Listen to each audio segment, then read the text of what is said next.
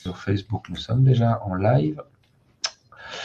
Alors, bonsoir, bienvenue à tous. Merci de nous rejoindre euh, aussi nombreux malgré le joli temps à l'extérieur pour nous suivre notre visioconférence. Donc, euh, le sujet de ce soir, c'est un sujet qui, je pense, nous intéresse tous, c'est notre sommeil.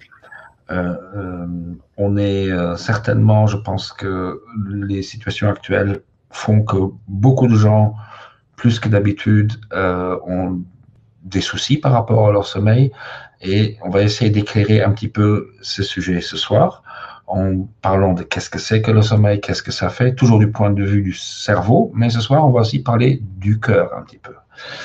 Voilà. Alors, prochaine diapo. Qu'est-ce qu'on fait ce soir au programme?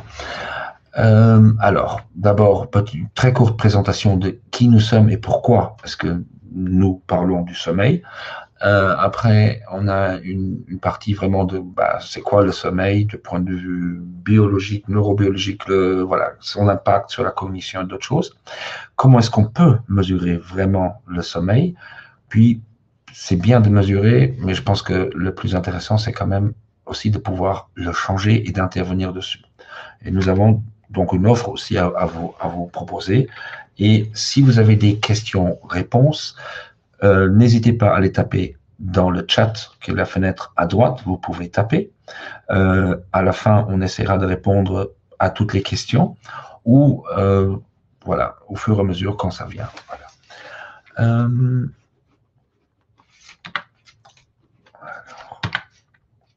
Qui nous sommes ben, Moi, je me présente. Mon nom est François Agis. Euh, ça fait maintenant six ans, bientôt sept ans que je travaille dans le neurofeedback. Euh, je m'intéresse beaucoup à ce qui est neurostimulation et aussi biohacking, c'est-à-dire comment est-ce qu'on peut améliorer aussi ses performances et le sommeil est une des composantes les plus intéressantes. Avec moi, il y a aussi euh, Nadia Augusto, qui est neurobiologiste, qui a travaillé dans la recherche et depuis quelques années travaille avec nous en neurofeedback et neurostimulation. Également présent, il y a Mélanie, euh, qui est neuropsychologue, qui nous a rejoint maintenant, ça fait bientôt deux ans d'expérience, on devra changer les slides, euh, en neurofeedback, neurostimulation et cognition.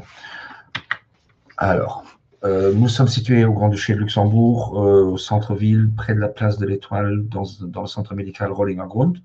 Euh, voilà, c'est un cabinet médical où nous, sommes, où nous exerçons, où les gens viennent nous voir. Qu'est-ce que nous faisons? Ben, Nous faisons ce qu'on appelle la neurothérapie, qui est quelque chose qui n'est peut-être pas très connu, mais qui est mérite vraiment à le connaître. Donc, c'est-à-dire qu'on analyse les flux du cerveau et on va beaucoup parler ce soir encore du cerveau et de comment justement léger, le léger quantifier, puis comment est-ce qu'on peut entraîner ou stimuler un cerveau pour qu'il fasse autre chose. Il y a aussi des services de neuropsychologie, ça nous permet d'évaluer ben, l'état où vous en êtes, votre performance, puisqu'on est souvent mal placé subjectivement, subjectivement pour pouvoir évaluer euh, où est-ce que j'en suis par rapport à d'autres gens et nous proposons des, solutions par rapport à ça. À qui ça s'adresse? Ben, Nous avons vraiment des enfants jusqu'aux seniors, euh, une population très variée. Pour les enfants, c'est plutôt dans tout ce qui est domaine des troubles de l'attention, troubles de l'apprentissage, euh, difficultés sensorielles. Euh, bon, malgré que actuellement, ce qui est triste, c'est depuis quelques mois, on voit quand même venir des enfants de plus en plus jeunes chez nous, avec beaucoup de signes de stress déjà, ce qui normal, ce qui devrait pas être le cas, mais je pense qu'avec la situation actuelle, c'est normal. Les adultes, ben, souvent, c'est le stress ou le sommeil ou des difficultés émotionnelles. Au niveau des seniors, on s'intéresse plutôt ben, comment je peux garder ou peut augmenter, voir mes, mes capacités cognitives, euh, voilà. Et mais on a aussi des gens qui ne sont pas, qui n'ont pas de symptômes, qui sont pas, euh, voilà, qui n'ont pas de plainte, mais qui veulent tout justement, qui s'intéresse à qu'est-ce que je peux faire pour m'améliorer encore, que ce soit au niveau mental ou physique. Voilà. Je passe la, mot, le mot, euh, la parole à Nadia et je vous rejoins tout à l'heure. Bonsoir à tous, merci François pour euh, l'introduction. Alors, entrons euh, dans le vif du sujet, le sommeil. Donc, tout d'abord, comment le cerveau sait qu'il faut dormir? Eh ben, le cerveau a tout simplement appris que c'était l'heure de dormir par l'absence de lumière. d'accord? Donc repenser un peu euh, à l'homme des cavernes où il n'y avait pas de lampadaire, il n'y avait pas d'écran, il n'y avait pas de, tout ça. Euh, et ben tout simplement quand il faisait totalement nuit, euh, il se passait exactement que dans le, au niveau de la rétine en fait, on a des cellules euh, particulières qui captent en quelque sorte ce signal d'absence de lumière.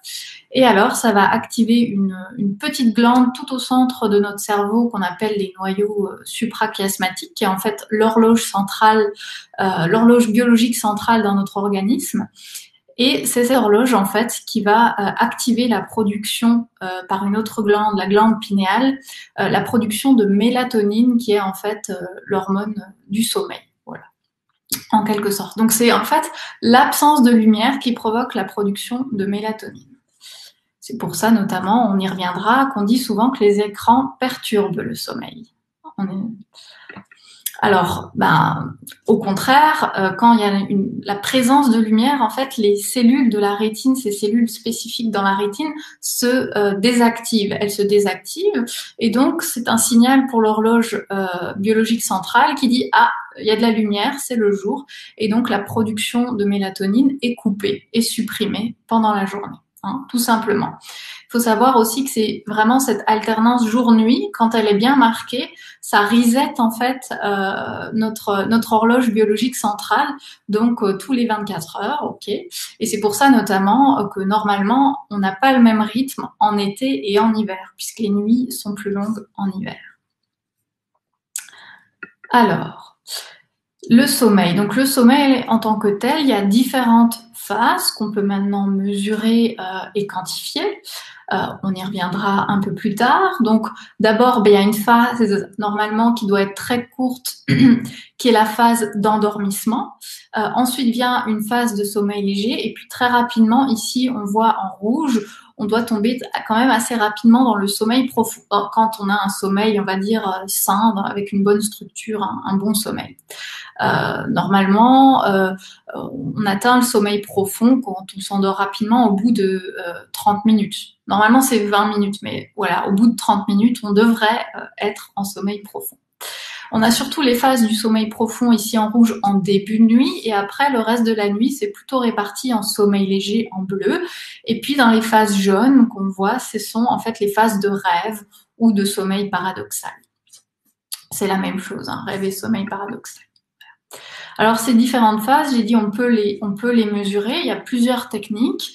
Alors il y en a une par exemple euh, que, nous on pratique pas, c'est les labos du sommeil où on va vous mettre des électrodes sur la tête et on va voir qu'en fait le cerveau euh, produit différents types d'ondes en fonction de la phase euh, de sommeil dans laquelle il est. On va pas rentrer dans les détails, mais sachez qu'en fait notre cerveau fonctionne euh, différemment en fonction des phases du sommeil, hein. notamment la, phase de sommeil profond qui est très importante euh, parce qu'elle permet le repos, la réparation cellulaire, etc. Mais on y reviendra plus tard. Quand on dit en fait que notre sommeil est réparateur, c'est parce qu'il y a eu des bonnes phases de sommeil profond, pas trop non plus, hein, mais environ 20% de, notre sommeil devrait être en phase de sommeil profond, qui est donc une phase réparatrice. Alors également, mais comment, euh, l'organisme fait pour s'endormir? Alors il y a une notion qui est très importante. Euh, on a une branche, le système nerveux autonome, dans le, au niveau du système nerveux, qui se divise en deux, euh, deux sous-branches, le système sympathique et le système parasympathique. Alors, pour simplifier, le système sympathique, qui est là représenté par un, petit bonhomme euh, qui, qui court, c'est un peu l'accélérateur. C'est la branche du système nerveux qui va dire au corps, voilà, accélère ton cœur, euh, apporte beaucoup d'oxygène aux muscles. Enfin, c'est en gros, c'est quand par exemple euh, on est soit bien éveillé, hein, évidemment, mais aussi quand on est stressé, souvent c'est voilà, on a un coup d'accélération, un coup d'adrénaline et de cortisol. Donc ça, ça sert en fait euh, à, ça. Le système sympathique, euh, c'est pour bien nous réveiller, pour donc réagir à différentes situations, éventuellement des situations de stress. à l'opposé, on a un système parasympathique euh, qui lui est plutôt le frein du corps, c'est-à-dire il va nous freiner, il va, lui il va être nécessaire pour freiner le système sympathique, donc freiner tout le corps, euh, ralentir le rythme cardiaque, se relaxer, méditer ou tomber dans le sommeil justement. D'accord? Et ce qui est très important, et c'est pour ça qu'il y a une petite image de balance, c'est que ces deux systèmes doivent être en équilibre. D'accord?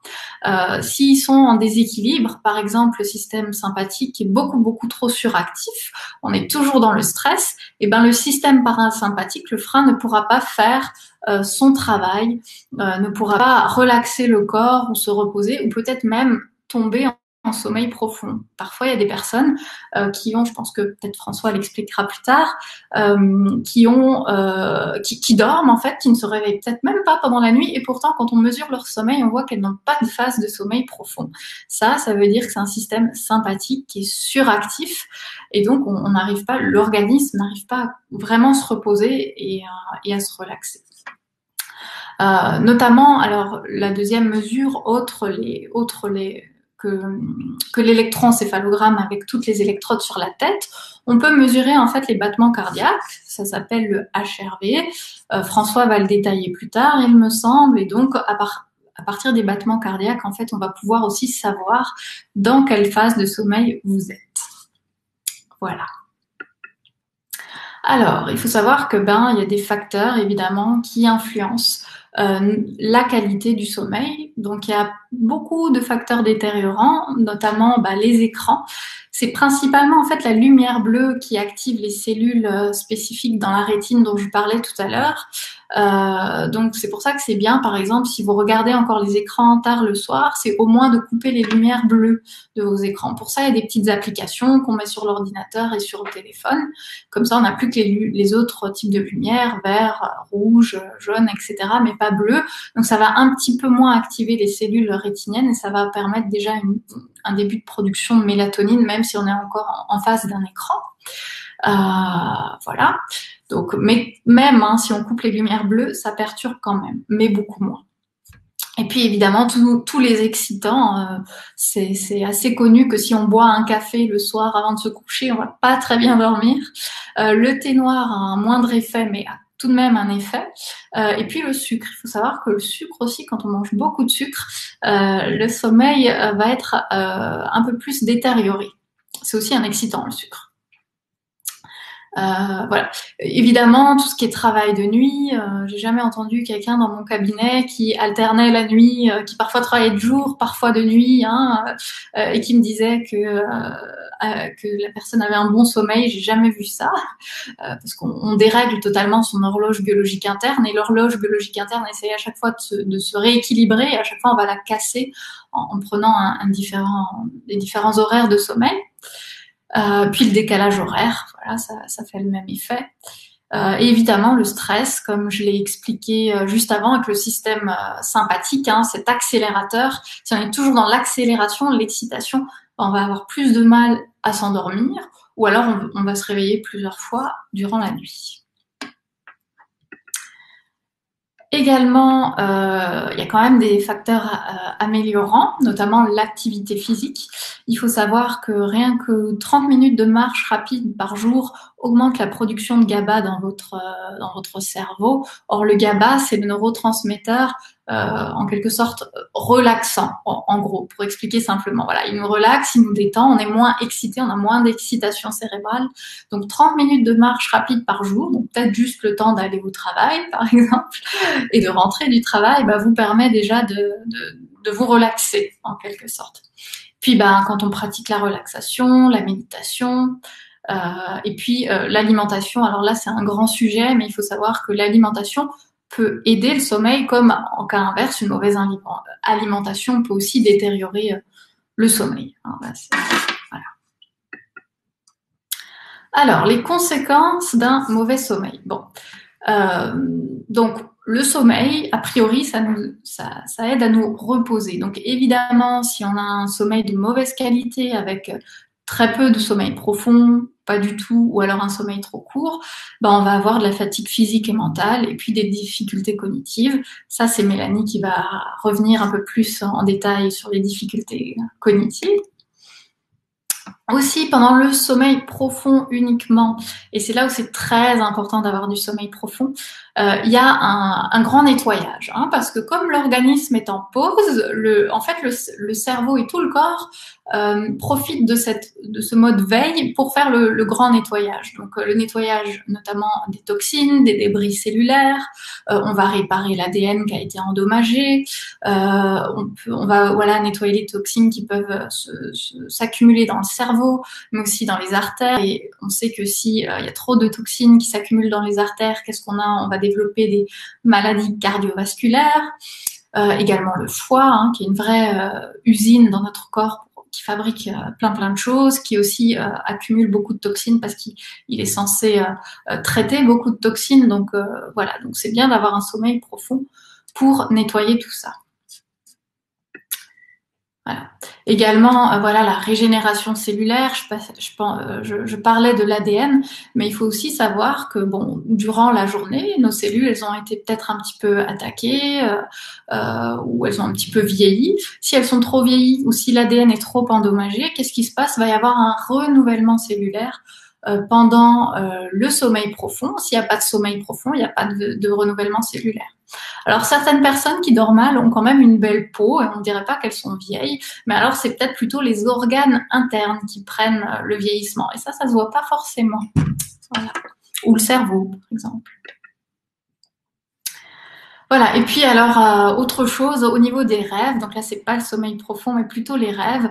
Euh, en fait, euh, ça, ça aiderait pour la gestion des émotions, hein, celle notamment de, de, la journée. Souvent on rêve de ce qu'on a fait euh, pendant la journée, et en fait ça permet de les émotions qui sont trop fortes, trop dures ou qui sont restées vraiment inconscientes. Et eh ben le rêve va les traiter. Voilà. Euh, donc, si on, on, a un mauvais sommeil, euh, là encore, on peut avoir, en fait, c'est parce qu'il y a une, accumulation des émotions qui sont trop perturbantes, on n'arrive pas à les traiter. Euh, et puis, euh, ces émotions peuvent être conscientes ou totalement inconscientes. Vous pouvez ne pas être consciente de, de ces émotions-là. Bon, aussi tout un, un sujet. pas rentrer dans les détails. Alors, par contre, on va parler quand même un tout petit peu plus des conséquences sur euh, la prise de poids. Euh, alors déjà, faut savoir que notre métabolisme, c'est-à-dire euh, comment fonctionne notre organisme, quelles réactions chimiques se passent dans notre organisme le jour, ne sont pas les mêmes que la nuit. Comme je vous l'ai expliqué, hein, le, corps est en veille la nuit, donc il fait d'autres choses. Hein, il profite de ce moment-là pour faire d'autres choses. Voilà. Donc, euh, il faut savoir que aussi l'horloge biologique interne va faire que euh, ce ne sera pas les mêmes gènes qui vont être utilisés le jour et la nuit. Alors certains vont être utilisés pendant les 24 heures, mais il y en a certains qui vont être. Oups, qu'est-ce qui se passe? Je n'ai pas cliqué. Hop, voilà. voilà. Je remets la diapositive. Donc, euh, pas les mêmes gènes forcément utilisés le jour et la nuit, notamment au niveau des organes internes de la digestion, puisque la digestion n'est censée être que pendant la journée et pas la nuit. Euh, la sécrétion d'hormones, notamment la sécrétion d'hormones digestives, la gréline, la leptine, etc. Euh, voilà. Et pourquoi ça a une conséquence dans la prise de poids? Bon, alors déjà un, un constat très simple. Euh, là, pas besoin d'être chercheur pour se, se rendre compte de ça, c'est que quand on dort, on ne mange pas. Donc, quand on dort très peu, on a tendance à manger plus parce qu'en fait, euh, voilà, notre journée est plus longue. D'autant plus, je pense que vous avez tous un jour expérimenté, euh, si vous vous couchez vers 23 heures et qu'un jour vous vous couchez à 1 heure du matin, souvent vers minuit, vous avez un creux, une petite faim. Voilà, bah, c'est ça en fait. Vous êtes censé dormir, mais comme vous restez éveillé et actif, bah, au bout d'un moment, le corps il va avoir faim parce que vous dépensez plus d'énergie que vous ne devriez. Également, il faut savoir que voilà, les organes digestifs ont vraiment leur propre horloge biologique. Et euh, normalement, après 22 heures, ils sont censés être au repos. Donc, si vous êtes encore en digestion après 22 heures, en moyenne, hein, ça dépend aussi des personnes, mais en moyenne, après 22 heures, s'il y a encore une digestion qui, qui, est faite, elle sera moins bonne. Parce qu'en fait, il n'y aura pas les bons gènes qui vont être utilisés, pas les bonnes hormones, pas les bonnes molécules, pas les bons sucs digestifs, si vous voulez. Voilà. Donc, ça va être moins bien digéré. Euh, et puis alors, que disent les, études scientifiques? Donc là, je me base sur une, euh, revue qui, rassemble plusieurs études scientifiques, mais, il y en a vraiment euh, un tas hein, sur de, littérature scientifique. Ben, tout d'abord, ils ont constaté que les gens qui dorment moins, hein, qui ont vraiment des courtes nuits, vont tout d'abord manger plus en quantité durant une journée, mais surtout des aliments plus riches, plus sucrés et, surtout plus riches en graisse et en carbohydrates. Donc, ils mangent pas plus de légumes, vous voyez. C'est vraiment les, aliments euh, euh, riches en voilà en graisse et en sucre. Donc, euh, ce qui va nourrir nos cellules adipeuses, celles qui stockent le gras. Également, on se rend compte chez les petits dormeurs qu'il y a moins de, repas, voilà, le traditionnel euh, petit déjeuner, déjeuner, dîner qui sont bien scindés. Euh, donc, chaque organe entre les, différents repas a quand même le temps aussi de se reposer. Non, on se rend compte qu'il y a plus de grignotage, de petits grignotages tout au long de la journée. Donc, en fait, la, digestion est constamment euh, activée. voilà. Et puis, on s'est rendu compte, là, il y a pas mal d'études qui, se rendent compte qu'il y a, en fait, chez les, alors, plus chez les enfants, euh, c'est souvent durant l'enfance que cela s'installe, l'obésité. C'est que chez les enfants qui dorment moins, qui ont des nuits plus courtes, il y a le risque d'obésité, en tout cas de prise de poids, est plus élevé. Par contre, les, études ne sont pas d'accord sur le pourcentage. Il y a même des études qui disent, euh, voilà, quand quand vous, euh, chez les enfants qui dorment peu, euh, donc des nuits de moins de 6 heures, pour donner un ordre d'idée, euh, le, risque d'obésité augmente de 45%. Il y en a d'autres qui disent moins. Voilà, mais elles s'accordent toutes pour dire qu'il y a un risque qui augmente.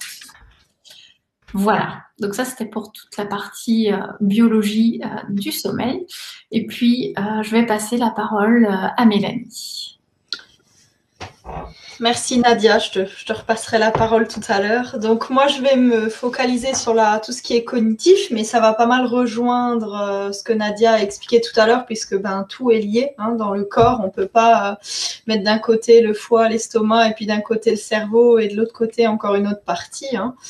Euh, donc, c'est quoi les conséquences d'un sommeil moins bon ou détérioré, décalé sur le cerveau, sur la cognition? Alors, euh, il y a déjà des, premiers résultats qui en général sont connus de la plupart des personnes, c'est que quand on manque de sommeil, eh bien, on va avoir des difficultés dans tout ce qui est mémorisation et apprentissage, puisque l'attention et la concentration ne sont pas euh, dans leur grande forme, hein, puisque c'est vraiment dans le sommeil lent et aussi paradoxal, il s'avère, que euh, tous ces processus-là se, se, font et aussi où la, la, mémoire va faire passer, par exemple, des souvenirs ou bien des apprentissages dans une mémoire plutôt à court terme vers le long terme si besoin. Quand c'est quelque chose qui a été répété plusieurs fois, voilà, c'est vraiment dans le sommeil que ça peut se, se consolider. Euh, donc les personnes en général qui dorment mal euh, sont très souvent tête en l'air, euh, dans la lune, un petit peu un espèce de, brouillard. On s'en rend pas forcément compte au début, mais c'est au bout d'un certain temps qu'on va se rendre compte que ça fonctionne moins. Alors, euh, pourquoi j'ai mis cette petite note-là? Parce que ben, on a fait une présentation sur le TDA et en fait, il s'avère aussi que euh, les enfants qui souffrent donc, ou même les adultes, hein, du trouble de déficitaire de l'attention avec ou sans hyperactivité, euh, on se rend compte que le, sommeil dans ce trouble-là, c'est comme si c'était une personne en jet lag parce que la phase de sommeil, l'architecture est complètement décalée et euh, ça participe notamment au problème d'attention et de concentration dans le, trouble de l'attention. Euh, parce que ben, la nuit, quand on dort, c'est exactement le même principe que les toxines. On récupère de l'énergie, on récupère des ressources cognitives qui ont été, entre guillemets, utilisées, épuisées pendant la journée. Donc voilà, le cerveau, il a besoin d'un temps pour se mettre sur off et pour recharger ses batteries. C'est aussi simple que ça. Donc, euh, lui demander de travailler tous les jours alors qu'il récupère très mal, euh, ça marche pas. Hein. Et il vous le fera savoir assez rapidement.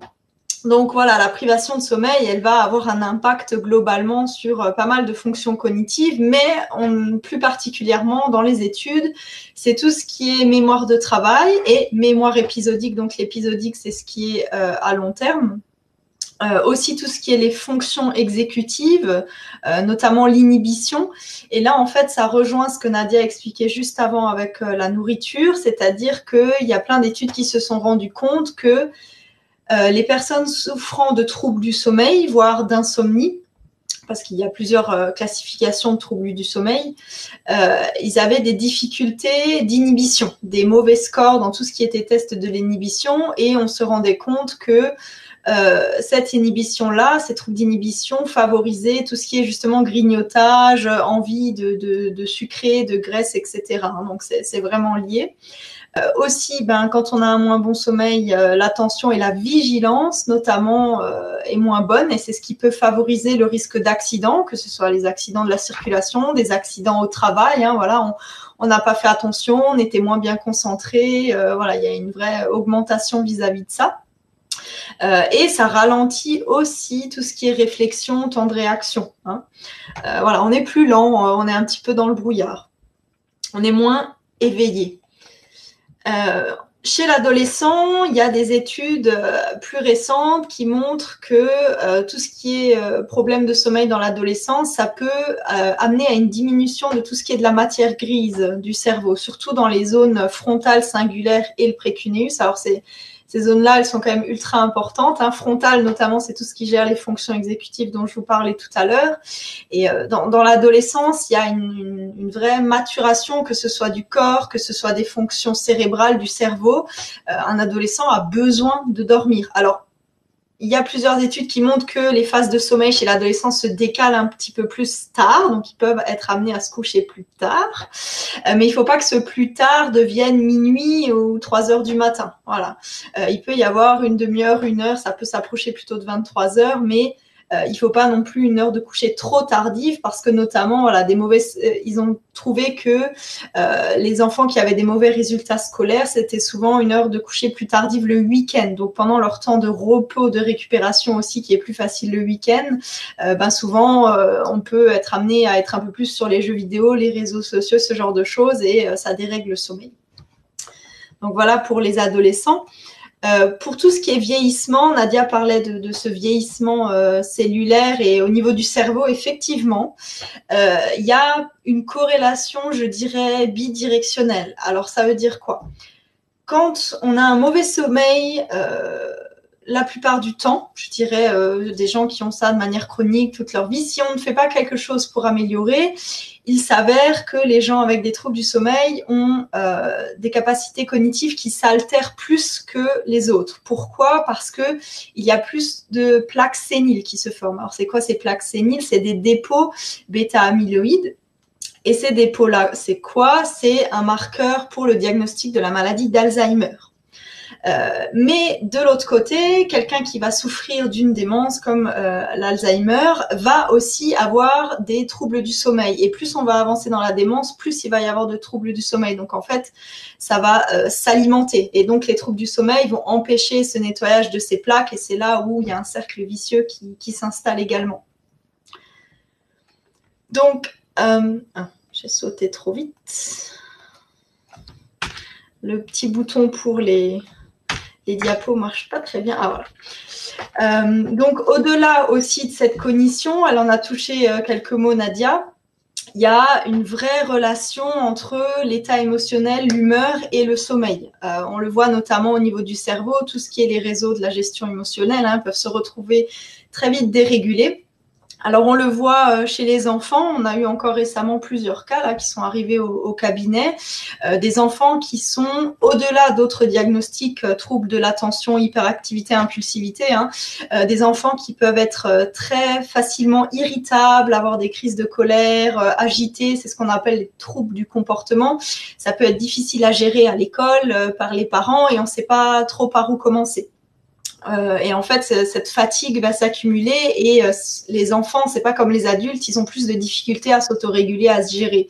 Euh, nous, si on veut exploser, des fois, on arrive à se retenir ou on prend sur soi, on va crier un coup dans la forêt, mais pas les enfants. Voilà. Euh, dans la dépression aussi, euh, même si c'est pas le sujet là ni l'anxiété, je voulais quand même glisser un petit mot.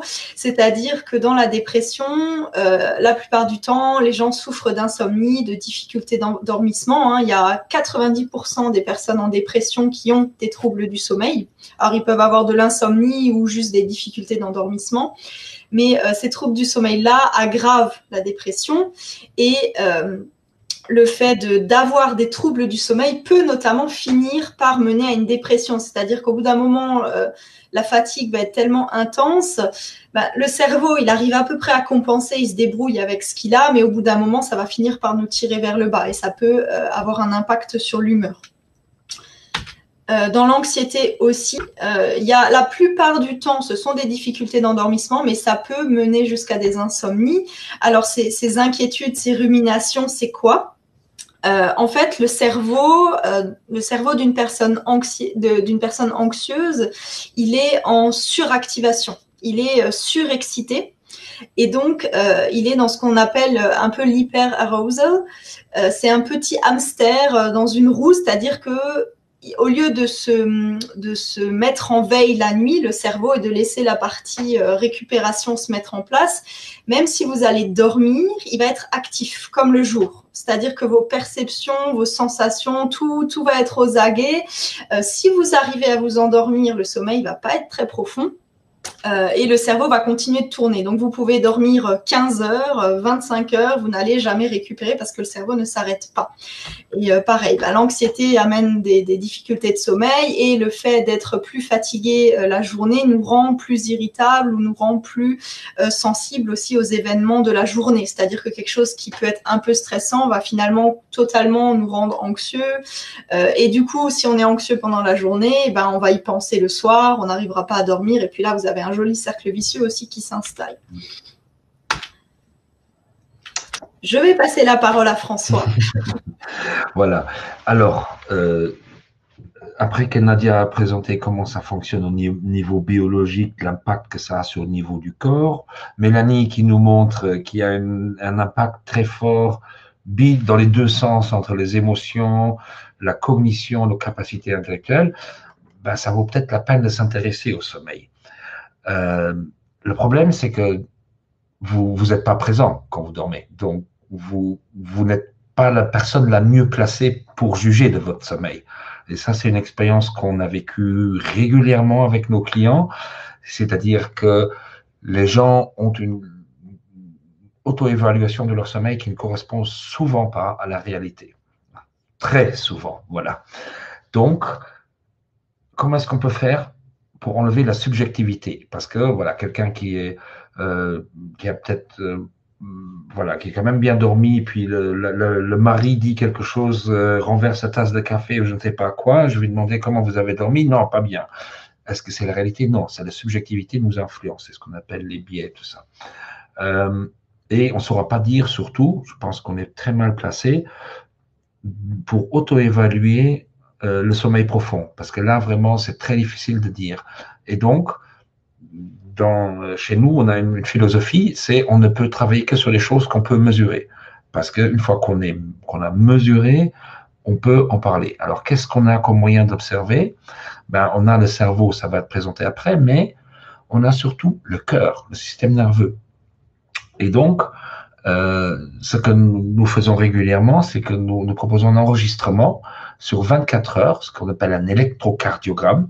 Donc, c'est un, outil scientifique connu, utilisé par les cardiologues. Nous, on va pas, nous, va pas s'intéresser au cœur pour trouver des systoles ou des, des dysfonctionnements du cardiaque. On n'en est pas capable, on n'a pas le droit, ça ne nous intéresse pas. Ce qui nous intéresse, c'est ce qu'on appelle la variabilité cardiaque ou heart rate variability en anglais. Donc, en fait, c'est la différence entre deux battements de cœur. Et déjà dans la médecine chinoise, il y a 2500 ans, il disait, quand le battement du cœur d'un patient est aussi régulier que le un coco, comment ça s'appelle un coco? Celui qui, qui tape le nez contre le, le, le, bois. Comment on appelle un coco? Mélanie, aide-moi. Étant donné que je devrais peut-être faire du neurofeedback parce que je cherche souvent mes mots en ce moment, je ne peux pas t'aider là. Bon, euh, c'est un oiseau qui tape la tête contre le, bois, tac, tac, tac, tac. Euh, j'ai Woody Woodpecker en tête. Voilà, Woody Woodpecker, voilà. Et voilà, donc il y a 2500 ans, les médecins chinois disaient déjà, si le cœur du patient bat aussi régulièrement que l'oiseau qui frappe sa tête contre l'arbre, le patient va mourir dans les prochains jours. Un pivert. Euh, un pivert, merci Mélanie, merci, le mot m'échappait. Euh, pourquoi? Parce que en fait, les battements du cœur sont le résultat euh, de, des deux systèmes que Nadia a présenté, le système euh, euh, ah, décidément, j'ai du mal à trouver les mots. Le système sympathique et parasympathique, en fait, il y a le, le, frein vagal, ça s'appelle. le frein vagal étant assuré par le système parasympathique. Si jamais ce nerf qui passe par le nerf vague est interrompu, votre corps s'emballe et vous n'avez plus de contrôle sur les battements. Donc, ce qu'on veut, c'est que les battements de cœur soient irréguliers. Et donc, à travers l'électrocardiogramme, on a une mesure très précise. Il ne faut pas confondre l'électrocardiogramme avec euh, des, objets connectés comme une Fitbit euh, ou d'autres qui enregistrent, mais qui eux enregistrent le pouls. La différence, c'est que le pouls est beaucoup moins précis. L'électrocardiogramme, on est en, en, centième de seconde, en millisecondes, donc on a vraiment des mesures très précises. Et le fait de poser un petit capteur, comme vous le voyez là, pendant 24 heures, et de faire tenir un journal de vos activités, qu'est-ce que vous faites, ben, ça va donner une image très, très précise de votre capacité de régénération, de votre consommation d'énergie, mais aussi de votre sommeil. Qu'est-ce que vous faites pendant le sommeil? Ce n'est pas aussi complet que ce qu'on fait dans les, les, cliniques du sommeil, les laboratoires du sommeil. Ça s'appelle la polysomnographie. Là, il y a beaucoup plus d'électrodes. Euh, moi-même étant TDA, donc j'ai eu, j'ai toujours des, des, très sensible par rapport au sommeil. Je suis passé par un labo du sommeil et euh, alors on vous met, on vous met des électrodes sur la tête, on vous met des trucs partout. Vous êtes dans une chambre d'hôpital et on vous dit bonne nuit. Déjà, le cadre, le setting, ça ne marche pas. Puis à la fin, mon expérience, et je pense que d'autres clients nous ont rapporté la même chose, après ils vous disent oui, mais votre sommeil est normal.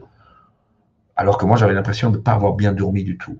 Pourquoi? Parce que dans la médecine, le seuil à partir duquel eux qualifient quelque chose d'insomnie ou de problème vraiment de sommeil, le seuil est très élevé.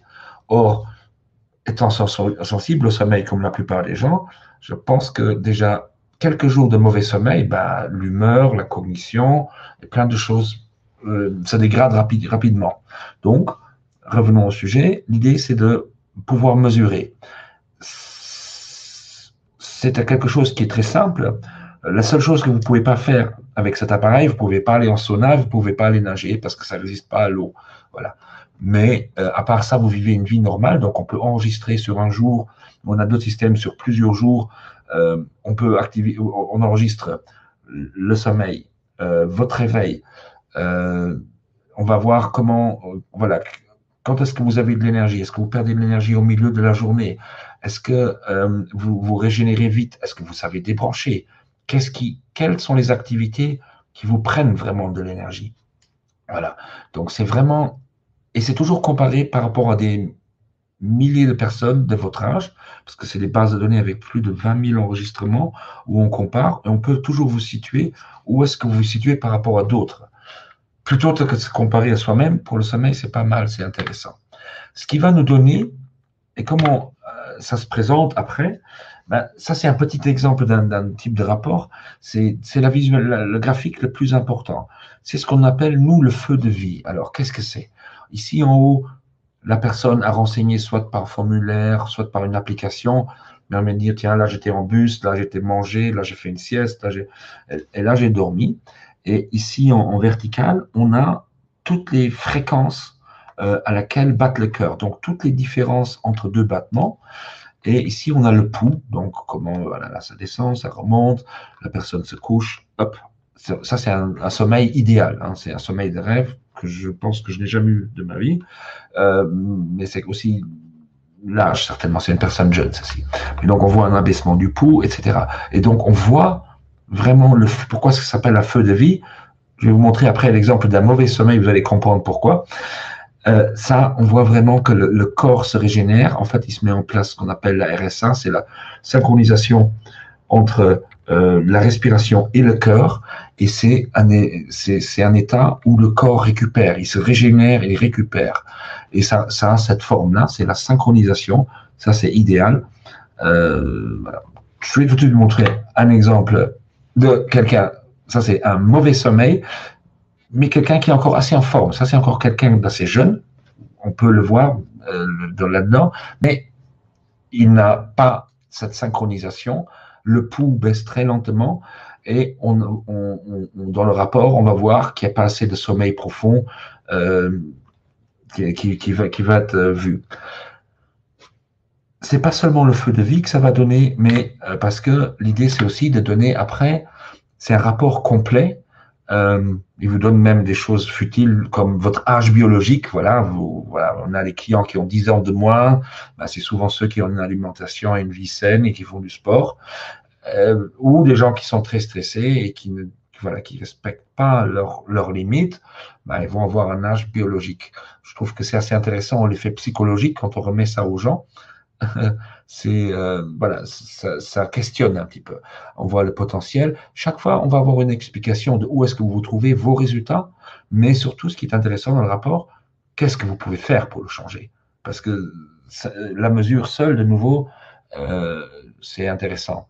Donc, ça va vraiment ce qu'on appelle des, mesures de lifestyle. Donc, voilà. Euh, mais Nadia a évoqué certaines choses.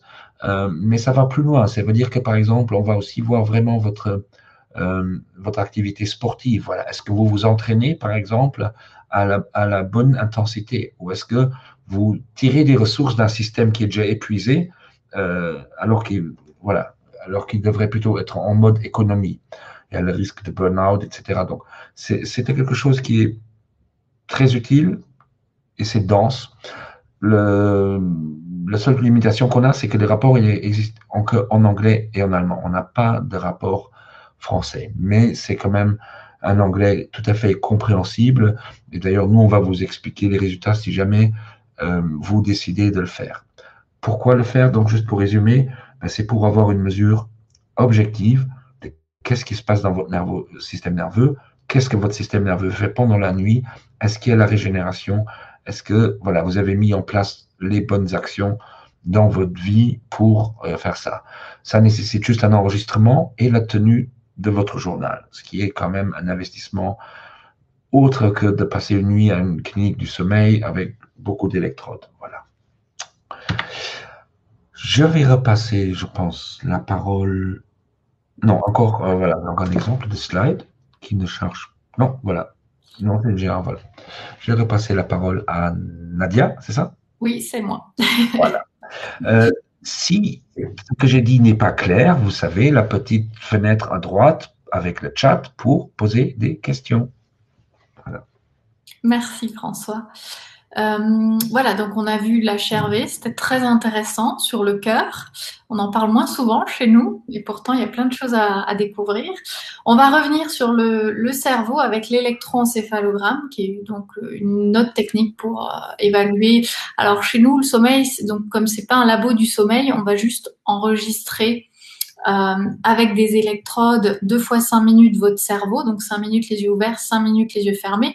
Donc ce sera assez imprécis par rapport au HRV sur le sommeil, mais quand même, on, peut quand même avoir des indices. Je vais vous expliquer lesquels. Alors déjà, bah, qu'est-ce qu'un électroencéphalogramme? Donc on met plusieurs électrodes sur la tête et puis on enregistre les ondes cérébrales du cerveau. Donc comment le cerveau fonctionne, on ne voit pas de, on ne voit pas physiquement s'il y a des lésions ou c'est pas l'anatomie du cerveau, c'est juste sa fonction. Et donc ça fait pas mal parce que c'est juste posé sur la tête.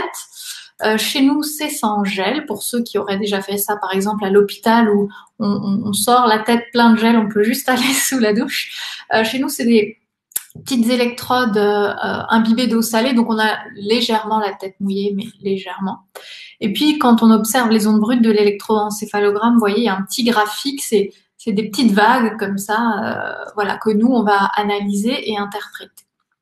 Alors, oui, quelque chose d'important, euh, l'électroencéphalogramme n'est pas utilisé chez nous pour faire des diagnostics. Hein. On va pas, on va pas faire un diagnostic, je sais pas, de, de, de TDAH ou euh, de dépression ou de, ou de que sais-je. Enfin, voilà, on va pas, on fait pas de, de diagnostic. On regarde juste comment le cerveau fonctionne. Alors. Voilà. Alors, les différents types euh, d'ondes, tout d'abord, donc euh, j'avais vaguement évoqué que le cerveau produit différents types d'ondes. Donc, il y a les premières, les ondes delta, qui sont justement les ondes les plus lentes. Euh, et en fait, ce sont celles qui sont beaucoup produites pendant le sommeil profond. Il y a les ondes θ qui sont encore aussi lentes, mais qui sont plutôt dans les états d'hypnose, de rêve, de créativité. On en observe aussi parfois des bouffées pendant l'endormissement. Et puis euh, les ondes alpha qui sont encore dans la catégorie ondes lentes, mais là on est déjà éveillé euh, et on est plutôt euh, relaxé. Où les personnes qui font beaucoup de méditation produisent beaucoup d'ondes alpha, donc c'est un peu les ondes du bien-être. voilà, mais par contre on est on est éveillé, on n'est pas endormi.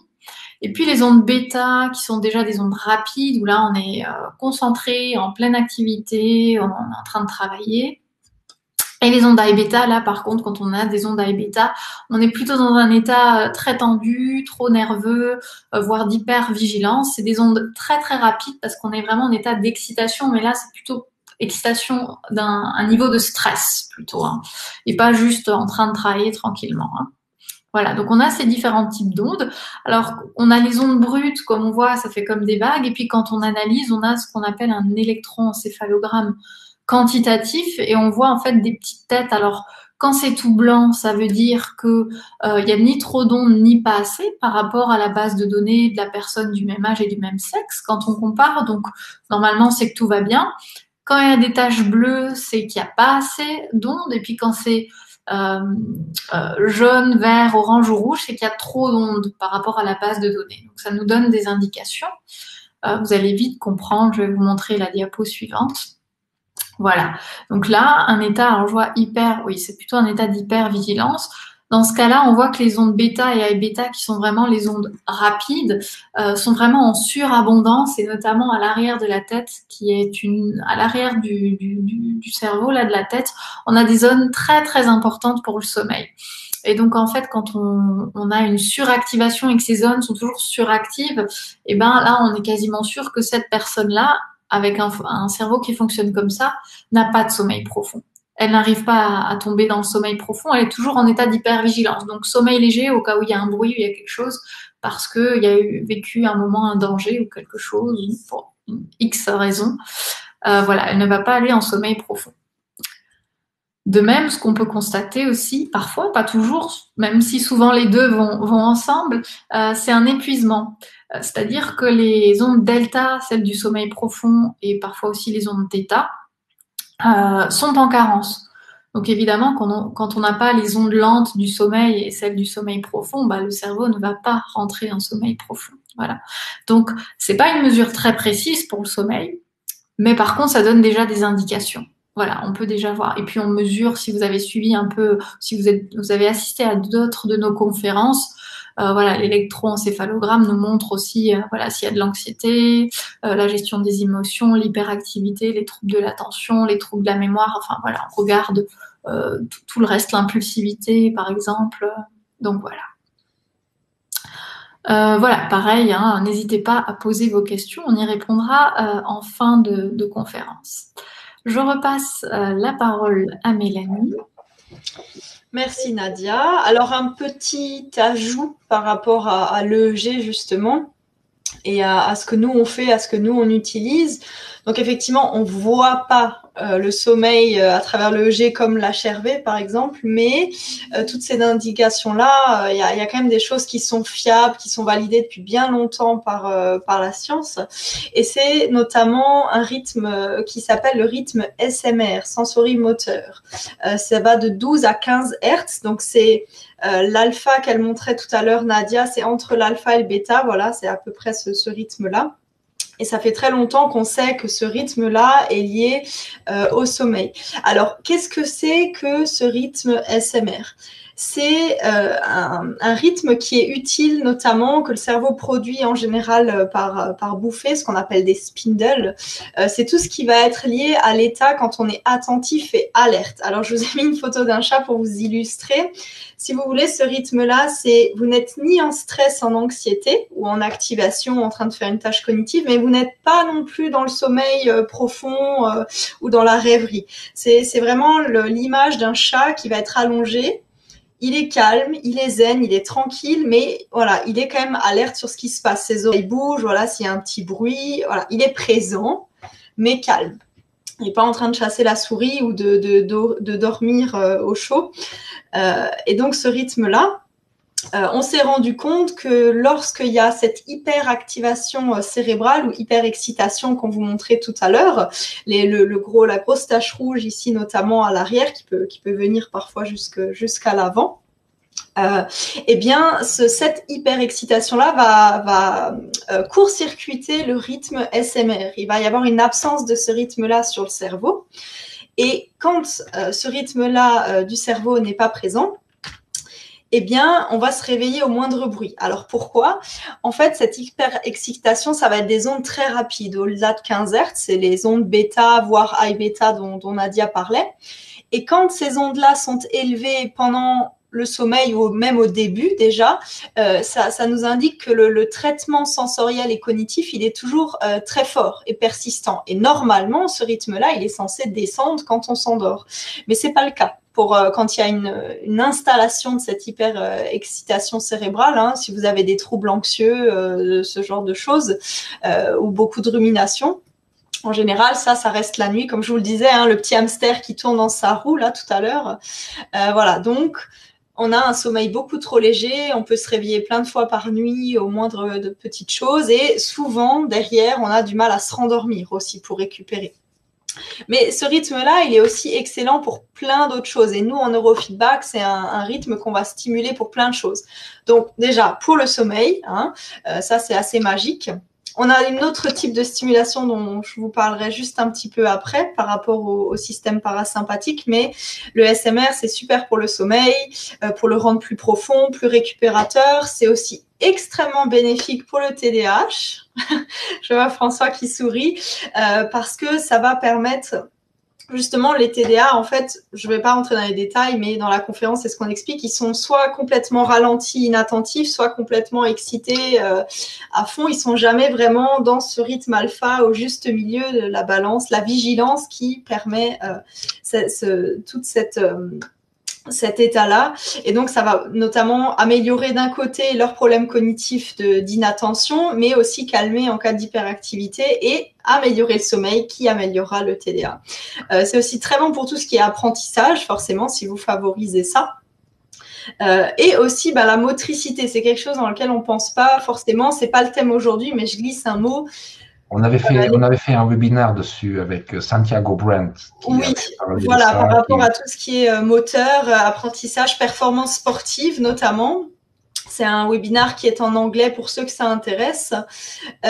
et aussi, ben, dans le cas où nous, quand on a des personnes qui ont souffert d'un AVC ou de peu importe l'origine où le cerveau a souffert et où il y a une perte de, de sensation, de motricité, eh ben on peut euh, diffuser ces ondes-là sur le cortex sensorimoteur que vous avez juste à ce niveau-là ici euh, pour aider euh, le cerveau à récupérer de, de, de, ces traumas, de ce genre de trauma. Donc voilà, c'est ça sert à plein de choses. C'est un peu le, rythme magique, si on veut. et euh, c'est vrai que nous, on aime bien l'utiliser et on a de, très, très bons résultats encore cette semaine-là avec quelqu'un qui est, dont le cerveau a souffert, qui était très, ce qu'on appelle désinhibé, c'est-à-dire euh, débit de parole continue. Euh, pas pas d'analyse, etc. et ben, il s'est avéré qu'il a regardé un film sans prononcer un mot et la personne à côté m'a dit c'est la première fois que qu'on peut regarder un film sans que il s'arrête, enfin, il s'arrête jamais de parler et c'était agréable. Donc euh, voilà, après c'était quoi, 10 minutes, j'avais seulement fait 10 minutes de stimulation et c'était déjà quelqu'un complètement euh, différent. Donc c'était intéressant de le voir en direct live. Euh, voilà. Donc Maintenant, les solutions, quand on a un trouble du sommeil, ce qui est le plus classiquement connu, bah, c'est tout ce qui va être médicaments. Donc, vous avez d'une part les somnifères, mais vous avez aussi dans certains cas les antidépresseurs qui vont être donnés.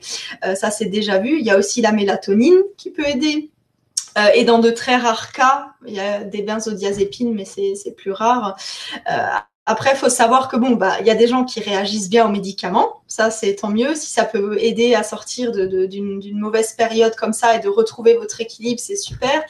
Mais il y a des gens pour qui ça fonctionne pas, euh, malheureusement, et où des fois même ça aggrave. Dans le cas des antidépresseurs, c'est connu. Ben, soit ça va vous aider, soit ça va complètement aggraver le truc.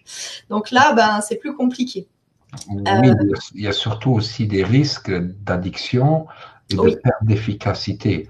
Et et de rechute. voilà, si vous arrêtez votre antidépresseur ou votre somnifère, si vous n'avez, si votre vie n'a pas changé, ben, le trouble du sommeil va revenir, voire même être pire. Donc voilà, euh, c'est ça. Oui, ça, ça, ça n'enlève pas le risque de rechute. Et ça, c'est fortement connu des médicaments, c'est-à-dire que il faut s'en servir pour s'aider à traverser une période, mais si on n'attaque pas la cause du problème de pourquoi vous avez ces troubles du sommeil, bah, vous pouvez en prendre toute votre vie dès que vous allez les arrêter, comme disait François, soit ça va toujours être là, soit ça va être pire.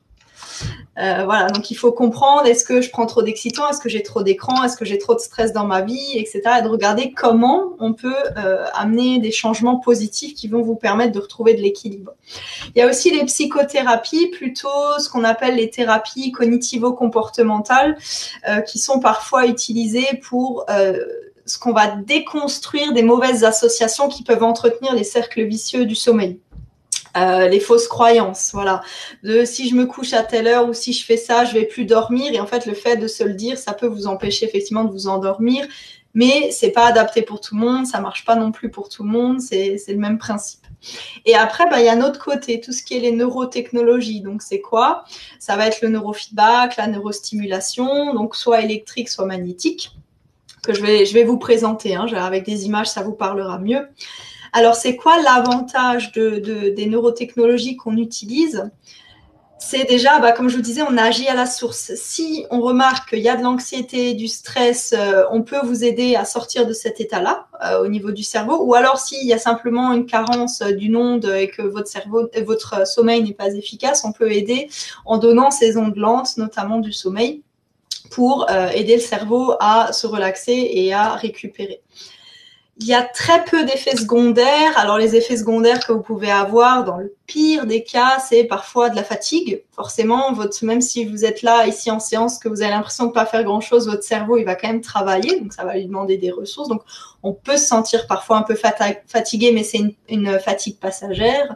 Ou alors euh, comme une pression. C'est pas un mal de tête, c'est pas la même chose. Une petite pression, en fait, vous allez sentir les courbatures de votre cerveau. Hein, les, En fait, vos neurones, bah, ils ont travaillé, voilà, et euh, vous sentez euh, le, muscle du neurone qui s'érédit quelque part, c'est un peu ça. Et c'est aussi pareil, c'est très passager. Vous vous posez un peu, vous buvez un peu d'eau, et en général, ça s'enlève. Donc voilà, ça, ce sont par exemple des effets. Euh, les effets sont directs, ça aussi, il n'y a pas besoin non plus euh, d'attendre 50 euh, séances pour qu'il se passe quelque chose. Surtout, le, mieux, le plus, le, meilleure illustration, c'est vraiment les, personnes qui souffrent d'anxiété, de stress, de rumination. En général, c'est assez direct. donc, la plupart des gens, ce qu'ils me disent après la séance, c'est j'ai l'impression que ma tête est plus grande que c'est quelque chose qu'on entend très souvent. Ils ont l'impression d'avoir plus de place. Bah forcément, il y a moins de choses qui se travaillent, de stress, de rumination, donc il y a plus de ressources disponibles. Et c'est plus agréable, donc c'est assez rigolo. Et aussi, bon, bah, il existe euh, voilà, plein, plein d'études, sur, notamment sur le, rythme SMR. Si vous tapez SMR, euh, sleep ou neurofeedback, euh, vous allez trouver une ribambelle de choses déjà dans les années 1900 et des poussières. Vous allez trouver des Première étude 1960. Ah, j'allais dire 67, tu vois, j'étais ouais, pas, voilà, pas loin. voilà. Donc, euh, et euh, ça a été refait plusieurs fois, et même sur des chats aussi. L'étude de Sterman, François, il me semble, de 67, justement, c'est pour ça que je l'avais en tête. Ils ont découvert ce rythme SMR sur les chats et les épileptiques. Et ils ont vu que ça servait, voilà, j'ai oublié de le préciser, le rythme SMR, notamment, c'est très bon euh, pour les gens qui souffrent d'épilepsie. Ça permet de réduire les crises en termes d'intensité et de fréquence. Voilà, hein, ça j'ai un petit mot quand même très important qui a, qui a son ajout. Euh, voilà, c'est comme ça qu'ils ont découvert ce rythme. En fait, on peut, on peut, dire que le rythme SMR, c'est l'illustration même de l'autorégulation du cerveau. Quand il n'y a pas de rythme SMR, le cerveau ne sait pas s'autoréguler. En fait, SMR est plutôt le résultat de l'autorégulation, on va dire comme ça. Mhm, voilà. voilà. Alors, le neurofeedback que nous, on fait, comment ça fonctionne chez nous, une séance, et quel est le principe? Alors, vous avez ici euh, bah, l'exemple euh, type d'une séance qui va se dérouler chez nous.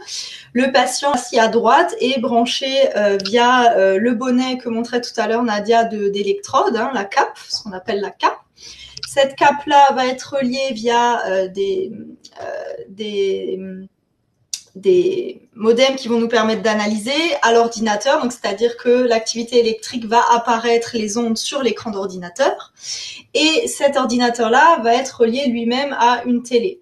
Et c'est ça qu'on appelle le neurofeedback. En fait, le neuro, bah, c'est tout ce qui va être au niveau de votre cerveau et feedback, ça va être le retour sur votre activité au niveau du cerveau. Alors, comment ça fonctionne? En gros, c'est comme si on prêtait un miroir au cerveau. On met un miroir devant le cerveau, voilà, et il se regarde. Voilà, c'est ça. Donc on mesure les ondes cérébrales et c'est l'ordinateur qui va faire le travail de traduire ces ondes comme positives ou négatives. Euh, je vous prends euh, l'exemple d'une personne stressée. Elle est assise là, elle regarde un film à mes côtés. Il n'y a pas de raison d'avoir de l'anxiété. Mais la plupart du temps, le cerveau est dans ce mode-là presque constamment. Donc, euh, ça va être une genre de punition que ce cerveau soit dans cet état-là. Alors, on fouette pas nos patients. Hein. Euh, le feedback, ça va être le film qui va être en face et qui va s'ajuster au niveau du cerveau. Quand il va y avoir beaucoup d'ondes, l'écran va être foncé, le son assez faible. Par contre, si le cerveau va diminuer ces ondes-là jusqu'à un niveau qui est jugé correct, alors là, le feedback va devenir clair et le film va s'éclaircir. Je vais vous montrer à quoi ça ressemble. Donc, c'est une boucle hein, qui va permettre au cerveau de se corriger puisque à la millième de seconde où il y a de l'anxiété qui apparaît, pouf, ça va devenir euh, foncé. Donc vous voyez là, c'est très rouge. Puis le cerveau commence à diminuer parce qu'il va chercher une manière de faire en sorte que l'écran redevienne clair. Hein. Il a envie que ça redevienne clair. Le cerveau, il aime pas trop quand c'est pas parfait. Et quand il va arriver à un état euh, beaucoup plus calme, eh bien le feedback va devenir euh, clair. Et c'est des changements qui ne sont que le cerveau auquel il ne s'attend pas. Donc ça va être très rapide, hein, ça va faire euh, euh, foncer clair comme ça très très rapidement. Euh, donc il n'y a pas besoin de réflexion non plus, c'est-à-dire que la personne peut regarder tranquillement le film et le cerveau va continuer de capter ces changements-là, de les analyser et de changer en fonction de ça. C'est un apprentissage implicite. Hein, voilà. Euh, le cerveau, il va s'autocorriger tout seul. Il va vite se rendre compte que, tiens, quand je diminue mon anxiété, eh ben, j'ai le droit au film avec une bonne qualité d'image et une bonne qualité de son. Par contre, dès que je commence à stresser ou à faire des choses qu'il ne faut pas en séance, eh ben là, euh, le film va devenir euh, plus foncé et, ça va être moins sympa à regarder. Alors, vous pourrez toujours le regarder, vous entendrez bien, mais ça ne sera pas parfait. L'avantage aussi, c'est que ça dure dans le temps. C'est-à-dire que c'est un apprentissage hein, que le cerveau fait. C'est pas juste vous êtes là, vous regardez un film comme au cinéma. Non, votre cerveau, il va recevoir des informations et du feedback sur son propre état. Il va changer en fonction de ça. C'est des milliers d'infos qui circulent et de choses qui se passent. Euh, et il va s'ajuster. Il va se rendre compte qu'effectivement, il va finir par sortir de sa zone qu'il connaît, hein, la zone de l'anxiété. Et une fois qu'il en est sorti, qu'il a appris de nouveau euh, cette flexibilité-là et euh, cet ajustement, c'est comme le vélo, c'est appris, c'est là pour la vie. Euh, voilà, on oublie, même si on n'a pas fait de vélo pendant cinq ans, on va pas oublier euh, comment pédaler. C'est quelque chose qui est inné. Voilà, on remet les pieds sur les pédales et ça roule. Vous aurez peut-être un petit peu mal aux fesses, mais en tout cas, vous saurez toujours pédaler. Et bien pour le, neurofeedback, c'est pareil. Voilà. Euh, la seule explication, s'il y a un, je dirais un désapprentissage, enfin le fait que vous perdiez les bénéfices du neurofeedback, c'est si maintenant votre cerveau sont, euh, est chamboulé dans le sens où, je sais pas, vous avez un accident grave de la route et vous vous retrouvez avec un très grave trauma crânien euh, euh, qui perturbe les neurones, etc. Là, oui, bon, bah, la structure du cerveau, elle a pris un grave coup. il est possible que vous ayez peut-être de l'anxiété ou vous ayez de nouveau du mal à dormir. Enfin, voilà, qui est quelque chose qui vienne déréguler votre système qui était bien, bien en balance, quoi. Je, me permets de, faire une petite interruption. il y a Marie-France qui pose la question, qu'est-ce que vous entendez par direct? Combien de séances, par exemple? Ben, Alors, j'ai déjà répondu dans le chat. Certains clients ont des effets directs, d'autres mettent plus de séances, mais en fait, c'est tout un programme et on va le détailler après comment ça se déroule. Euh, quand vous commencez, nous, on vous demande un engagement à faire sur 10 séances. Euh, là, on a encore reçu hier un feedback d'une maman, d'ailleurs sur Google, très très joli, euh, très émouvant feedback que, que, je vais mettre le lien après dans le chat, comme ça vous pourrez lire qui, euh, c'est pas sur le sommeil, mais c'est sur la régulation émotionnelle, qui dit en trois séances, mon gamin est changé, donc il n'y a plus de conduite oppositionnelle, il était en confrontation tout le temps, on essaie de contrôler tout le monde, etc. En trois séances, il, est devenu doux. C'est pas toujours le cas, mais ça, c'est des cas, euh, voilà, typiques où on montre l'efficacité, euh, où on peut agir. Et c'est aussi une raison pourquoi, par exemple, le neurofeedback bah, les enfants aiment bien venir parce que regarder un film, même sur une télé avec des, images bizarres euh, qui, qui, sautent et qui viennent et qui sortent, ils adorent et donc ça marche aussi parce que souvent pour les enfants, bah, les deux autres options n'existent pas. Médication, c'est pas possible et psychothérapie, ils sont pas prêts encore euh, ou voilà, ou ils veulent pas souvent, voilà, voilà. Oui, là, ça va dépendre aussi de la sensibilité et de l'objectif. Euh, quand il est question de stress, ça va très rapidement. Euh, pour les gens très sensibles, c'est dès la première. Pour les gens peut-être moins sensibles ou pour quelque chose qui est plus profond, ça, en général, vers la cinquième, déjà, ça commence parce que c'est là où on attaque les choses plus difficiles. C'est vrai que les, premières séances, c'est les choses de base. Il faut travailler sur les fondations même, les réseaux du cerveau. On ne peut pas commencer à bâtir quelque chose si on n'a pas fait les fondations. Euh, donc voilà. Oui, et aussi euh, quelque chose d'important, c'est pourquoi même si on a les bons effets au bout de trois séances et on se dit ah c'est bon, je dors très bien, je suis en pleine forme. Oui, mais trois séances, ça ne va pas durer dans le temps. Hein. Le principe d'apprentissage, même quand vous apprenez la poésie ou quelque chose à l'école, il faut la répéter plusieurs plusieurs fois hein, pour euh, vraiment l'apprendre et que ça dure dans le temps. Et pour que le cerveau puisse se changer, garder la manière, le meilleur fonctionnement dans le temps, en fait, on demande dix séances parce qu'on sait qu'au bout de 10 séances, ce que vous aurez acquis, ça restera dans le temps et vous ne reviendrez plus nous voir. Donc, vous serez autonome. Voilà. Bon, Mélanie a rapidement parlé, voilà, s'il y a un choc à la tête, ça peut quand même désorganiser ou parfois un événement de vie aussi. Hein. Euh, si vous avez un deuil à faire ou quelque chose de très difficile, bah oui, là, peut-être il y aura de nouveau des insomnies, des ruminations. Mais s'il n'y a rien dans votre vie particulier qui se passe, ça va rester dans le temps. Et c'est pour ça, il faut 10 séances. Voilà. Oui, et que ce soit rapproché aussi. Hein. Si on fait une séance et puis que dans un mois vous en refaites une, ça sert à rien. C'est comme elle disait l'apprentissage d'une poésie où à l'époque quand vous, avez, étiez petit, vous avez appris à lire. Ben c'est un exercice que vous avez répété plusieurs fois et tous les jours. Mais maintenant la lecture, ben c'est acquis. Voilà. le neurofeedback c'est pareil. Il faut faire au moins 10 séances et répéter assez rapproché euh, pour que pour qu'on ait des résultats corrects voilà mais ça va dépendre oui de la sensibilité des gens hein. mais ça c'est ok voilà c'est pour ça qu'on demande toujours des feedbacks on avance au rythme de chacun euh, euh, c'est personnalisé hein. Euh, un, un je dirais, impact de séance de neurofeedback ne se ressemble pas. Même si j'ai 50 personnes qui viennent pour de l'anxiété ou 50 pour des troubles du sommeil, vu que l'origine sera complètement différente parce qu'il n'y a pas un EEG qui se ressemble, puisque chaque individu est un individu unique, euh, il a sa propre histoire de vie, ses propres, euh, son propre passé, etc.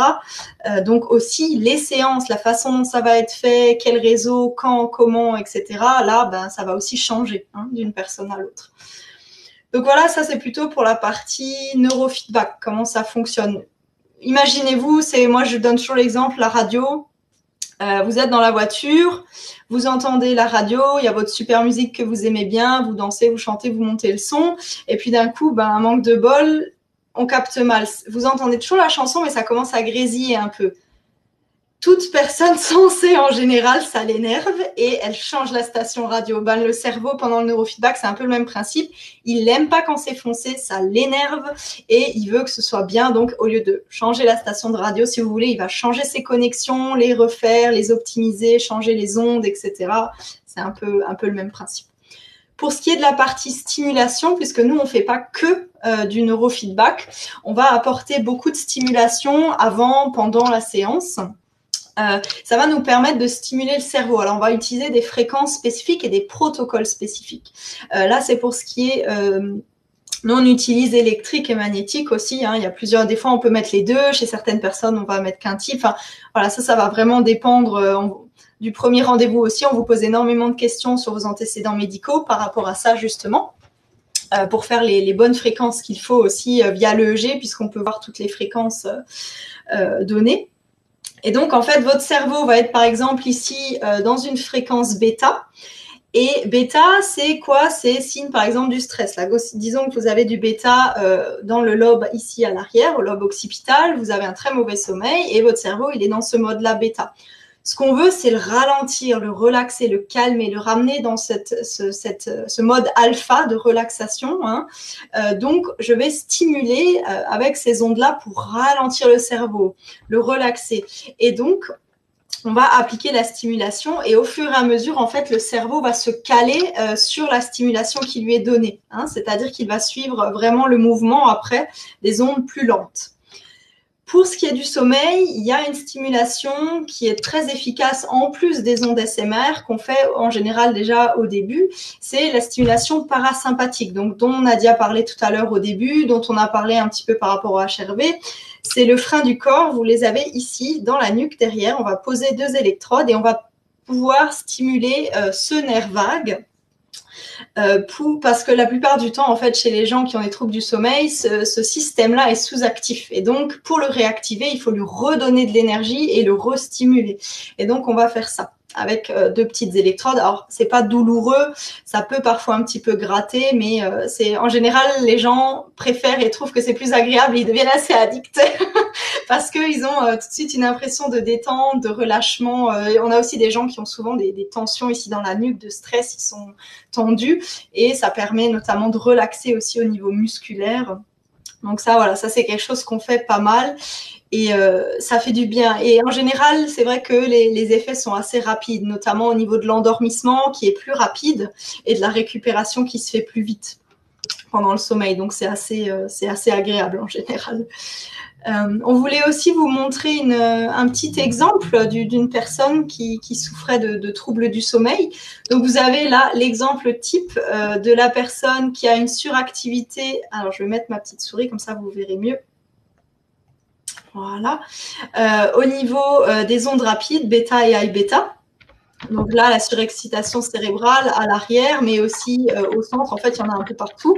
Donc il y a de l'anxiété, il y a des ruminations, il y a des tensions, la totale. Et le cerveau qui commence à carencer ces ondes lentes, donc delta, theta qui commencent à, apparaître euh, en carence. Donc euh, grosse fatigue, épuisement dès le, dès le réveil le matin, hein, la fatigue tout de suite là, euh, malgré une nuit de sommeil. le risque quand on laisse un cerveau comme ça, en fait, c'est qu'au bout d'un moment, bah, il voudra plus compenser. Là, il se débrouille encore, mais au bout d'un moment, en fait, ce bleu, il y a le risque qu'il se mette partout sur toutes les ondes, euh, que le cerveau commence à manquer de puissance pour exactement tout. Et là, on va arriver à ce qu'on peut appeler un burn-out, hein, quand tout le cerveau est bleu. Euh, le, cerveau n'a plus de, ressources. Et euh, c'est ce qu'on veut éviter. Hein. Donc effectivement, voilà la brain map type de troubles du sommeil. Et après les séances, ben voilà, on a pu descendre l'état de stress du cerveau. Il y a les deux, trois petites choses que vous voyez ici sont non significatives. Hein. Avoir un cerveau euh, complètement blanc sur toutes les ondes, c'est pas possible. Et je pense que si on en avait un, on s'inquiéterait. Donc voilà, le, but c'est pas la perfection non plus. Hein. Euh, le but c'est nous, on n'est pas des changeurs de couleurs de brain map. Nous, vous venez, vous avez un objectif, vous avez des difficultés, des problèmes que vous voulez résoudre on fait le bilan, on essaie de comprendre d'où ça vient et on va vous aider à y arriver. Et s'il y a une tâche, si là ou l'autre, mais que ça vous pose pas de problème dans votre vie de tous les jours, nous, on va pas aller y toucher. Ça n'a aucun sens. Donc voilà. Il n'y a pas de, plus de stress ici, de la détente, pas, pas trop de carence d'alpha et puis bah, plus de carence de delta et de theta, récupérer sa forme. Et en général, quand on récupère ça, et eh ben la cognition, l'attention, enfin tout, tout le reste suit. Hein.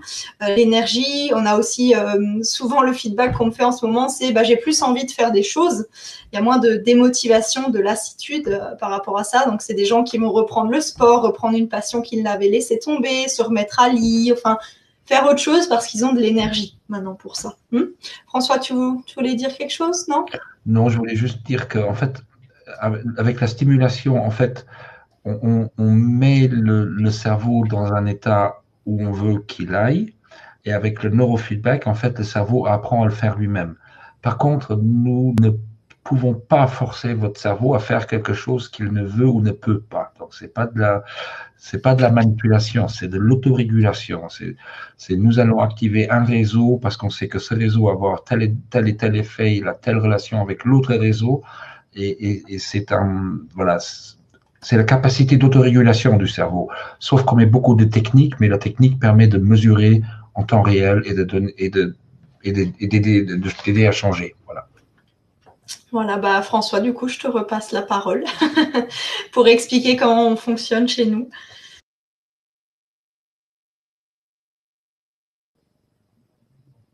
Il faut que tu réactives ton micro qui vient de se couper. comment ça se passe chez nous? Voilà. Euh, voilà, il y a différents types de neurofeedback. Comme vous avez vu, nous, on travaille avec cette cartographie, ce qu'on appelle, nous, des brain maps, ce qui est une, et les tests cognitifs, et d'autres, éventuellement, le test du sommeil. Donc, pourquoi? Parce que si on ne mesure pas, on ne sait pas évaluer. Donc, première chose, on fait une mesure qui est purement objective. On fait le bilan de, voilà, de qu'est-ce que, qu'est-ce que votre cerveau sait faire, qu'est-ce qu'il sait pas faire, qu'est-ce que nous, on voit comme faiblesse, qu'est-ce que votre système nerveux sait faire. Et suite à ça, nous, on, fait un programme. Mais cette première étape, c'est tout à fait super important. Il y a d'autres types de neurofeedback, d'ailleurs, ce qui est plutôt, moi j'appelle ça les, conservateurs en Europe. Euh, eux, ils ont une autre philosophie.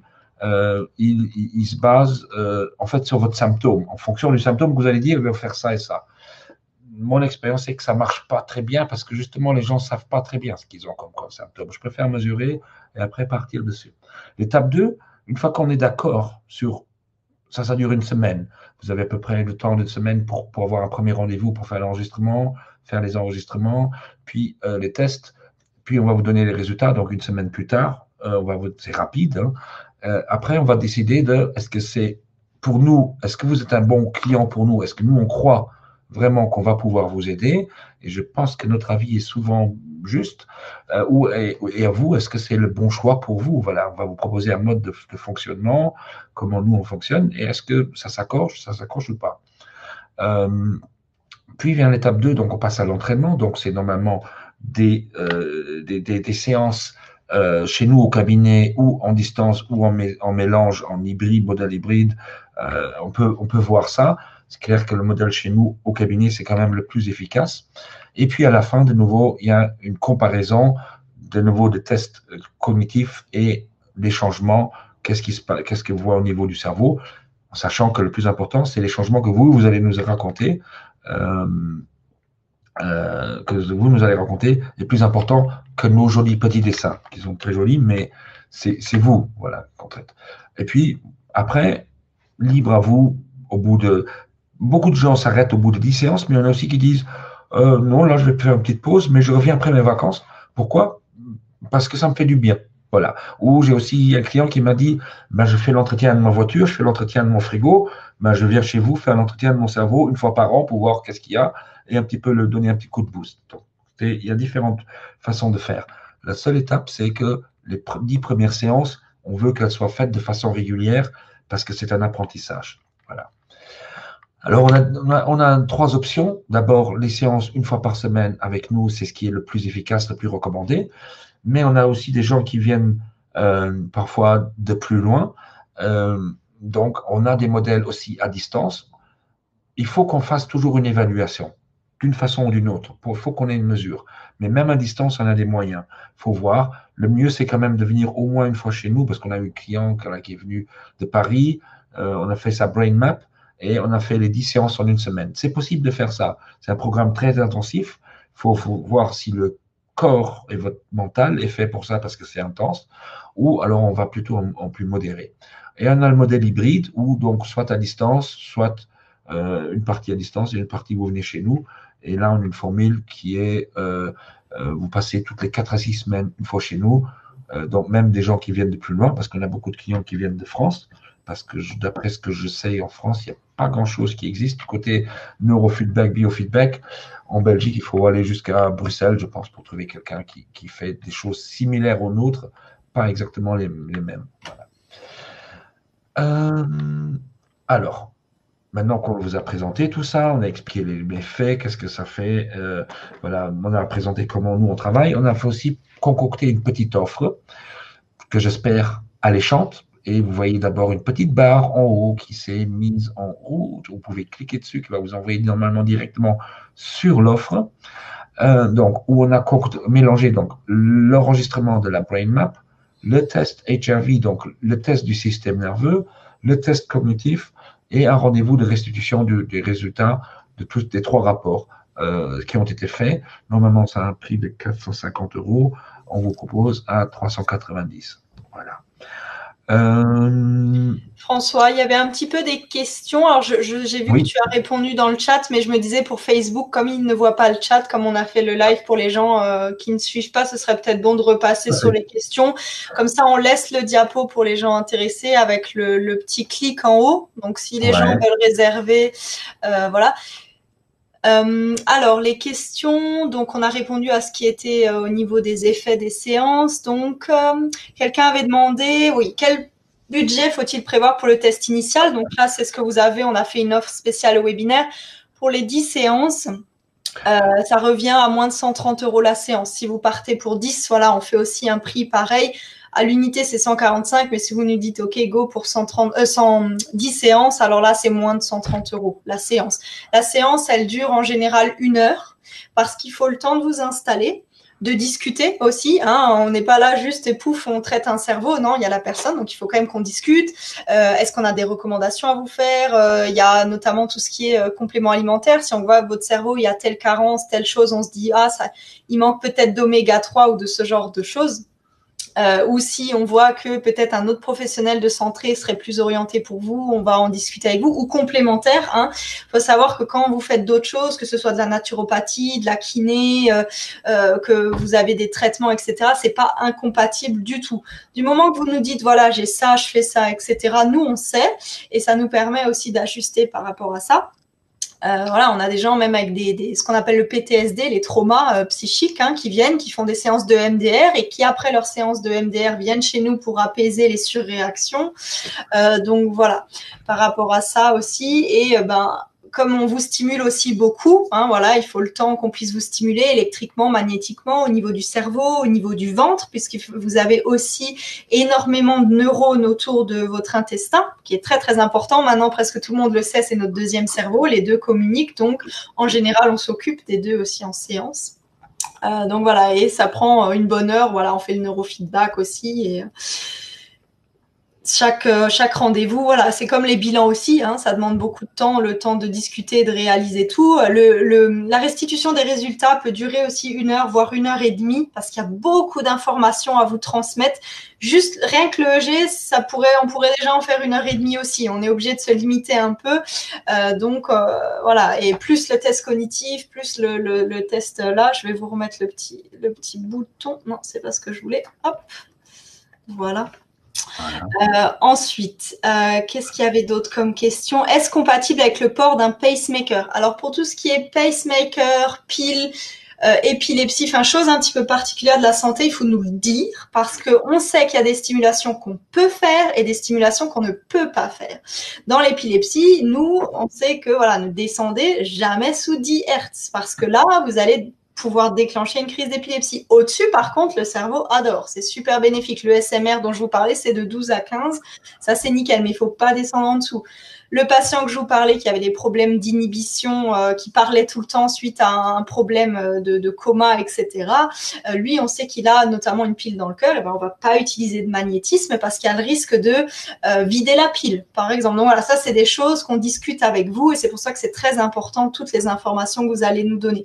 Donc c'est pas incompatible, mais il faut juste qu'on le sache pour éviter éviter tout, tout problème. Donc là, ça va être plutôt à vous de bien nous dire toutes vos informations. Euh, si on a été opéré de la nuque, cage en titane, la neurostimulation peut-elle se faire, François? Je ne sais pas si pas de problème. Euh, en fait, tout ce qui est plaques, vis, etc. et autres, euh, non, ne nous, ne nous, gêne pas. Bah, ça dépend naturellement parce qu'on a vraiment une gamme très large de stimulation. On a des stimulations de la jambe à la nuque. Donc, ces choses-là, on ne les ferait pas.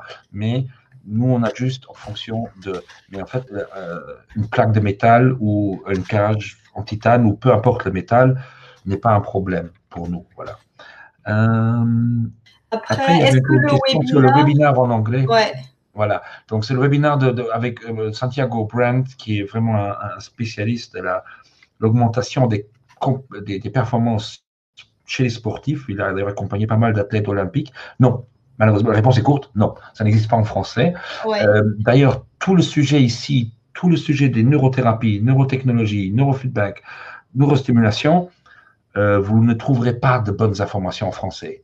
malheureusement, vous n'échapperez pas à l'anglais. À éviter à éviter complètement. Euh, les recherches, il faut que ce soit en anglais. Ça, c'est un no-go. Sinon. Voilà. Désolé, vous n'échapperez pas. Vous ne trouverez pas de bonne forme. Le, neurofeedback, pour vous donner un ordre d'idée, les neurostimulations, c'est quand même euh, reconnu et remboursé par la sécurité sociale en Allemagne, en Angleterre, aux États-Unis, sous certaines conditions, en, en Suisse, voilà, il y a plein de pays. Mais dans les pays francophones, euh, aujourd'hui, on est à l'aberration totale qui dit que euh, voilà, la haute autorité de santé en France dit que le neurofeedback doit encore faire ses preuves. Bon, il y a plus de 3000 études qui prouvent que ça marche. Ça existe depuis les années 60. Les militaires l'utilisent tous les jours pour faire d'autres choses que ce que nous on fait.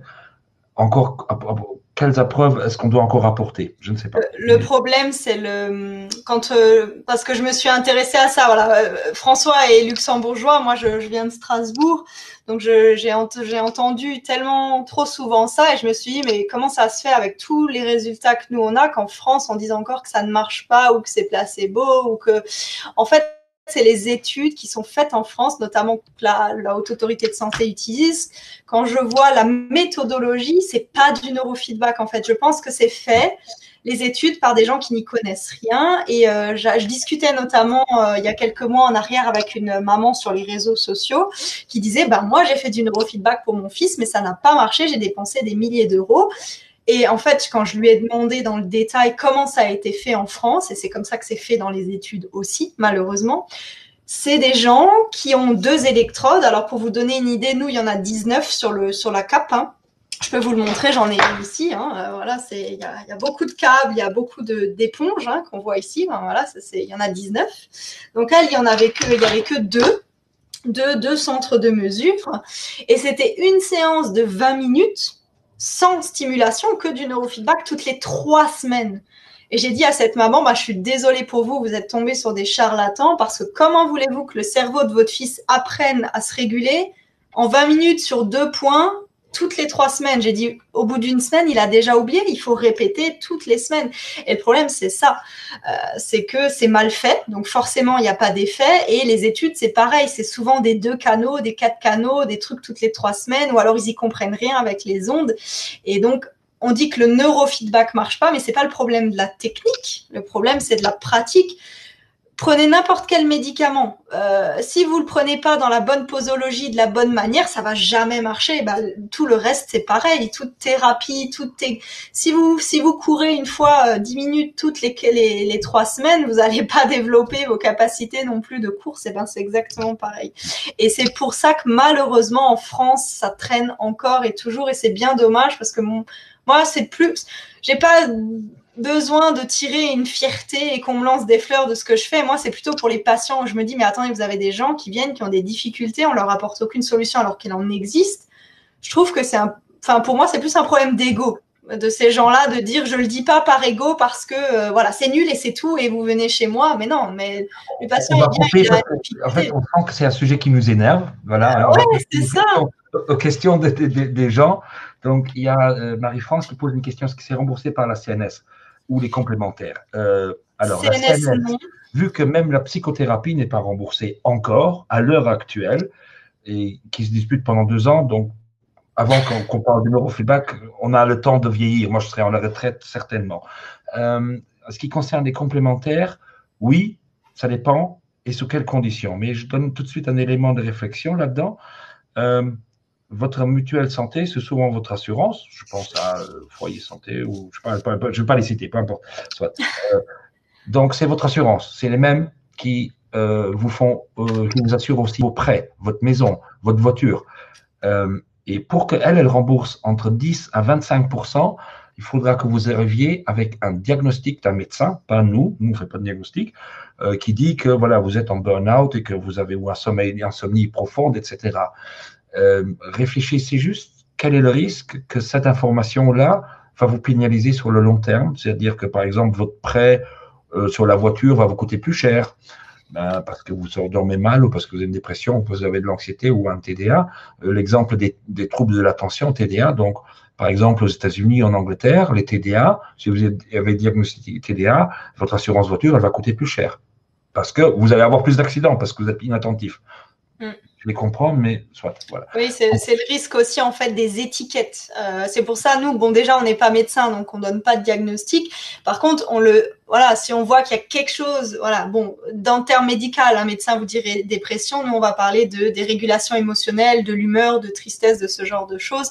Mais effectivement, on n'est pas fan des étiquettes euh, et beaucoup de nos patients en fait non plus ici. et euh, oui, quand on parlait de la colère tout à l'heure, ça me fait exactement penser à la dame euh, François, tu sais, son fils qui était scolarisé, qui a eu un diagnostic de dyslexie sorti de on ne sait où parce que moi, quand je l'ai vu, voilà, moi je suis une neuropsychologue, donc je suis spécialisée dans le fonctionnement normal et anormal du cerveau.